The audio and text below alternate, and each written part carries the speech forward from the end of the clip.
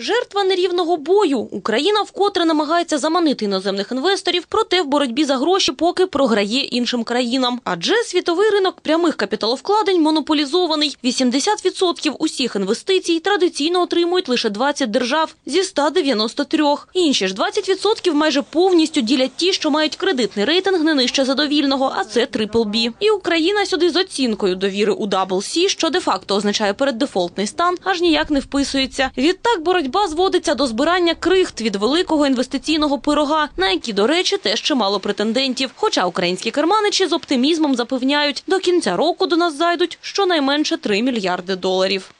Україна цього року розраховує залучити близько 3 мільярдів від ЄБРР, Європейського інвестиційного банку та інших фінансових інститутів. Обсяг інвестицій буде залежати від того, як український парламент буде підтримувати закони, що стосуються реформ. Ми вважаємо, що найбільша кількість інвестицій прийде тоді, коли буде прийнятий закон про приватизацію об'єктів державності. Ввечері реформи, вранці гроші. Такої логіки дотримуються і інвестори. Адже нині іноземним капіталовкладникам заводити свої кошти в Україну заважає не лише війна. Про це свідчать дані щоквартального опитування Європейської бізнес-асоціації. Статистика красномовна. Інвесторів зі старого світу першочергово лякає слабке валютне регулювання, девальвація гривні, а також непослідовна політика НБУ. На цих проблемах заакцентували увагу 62% респондентів. А от введення додаткових імпортних мит виявилося відносно непоміченим. Якщо раніше це могло обвалити інвестиційний клімат Україні, то тепер ця проблема вибиває з колії лише 36% бізнесменів. Ще ж 19% скаржаться на незрозумілу стратегію уряду, корупцію та відсутність професіоналів у середніх ланках державної ієрархії. Та попри це, європейці поки готові вірити у світле майбутнє. Загалом вони оцінюють інвестиційний клімат першого кварталу цього року в 2,51 бала за п'ятибальною шкалою. І хоча ця оцінка залишається низькою, нинішній показник на одну соту відсотка вищий, аніж наприкінці 2014-го. Україна вже почала зрушуватись з мертвої точки, проте можна їхати швидше. Ми б рекомендували уряду діяти не кількісно, а якісно, обрати 3-4 ключові реформи та зосередитись на них. Виконуйте обіцяне, і ми заведемо інвестиції.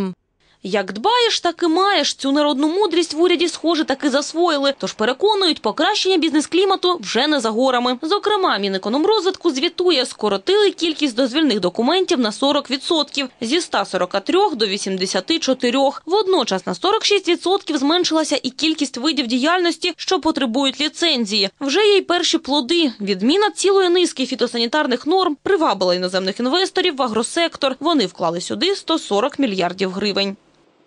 70 мільйонів цієї суми піде на підтримку малого та середнього бізнесу, найбільш постраждалих від воєнного конфлікту регіонах. Решта має бути спрямована на розвиток компаній в містах, де наразі перебуватимуть переселенці з Донбасу. Та особливо гостро стоїть питання безробіття, і це ми хочемо допомогти виправити.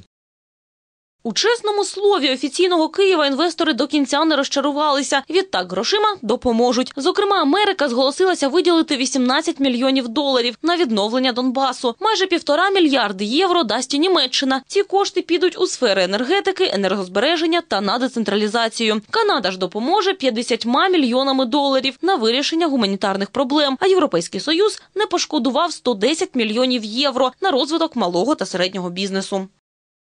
Ми продовжуємо працювати у напрямку спрощення умов для ведення бізнесу. Ми сподіваємось вже цьогоріч піднятися у рейтингу Doing Business на 20-ту сходинку. Кожна позиція зможе принести Україні близько 6 мільярдів доларів прямих інвестицій.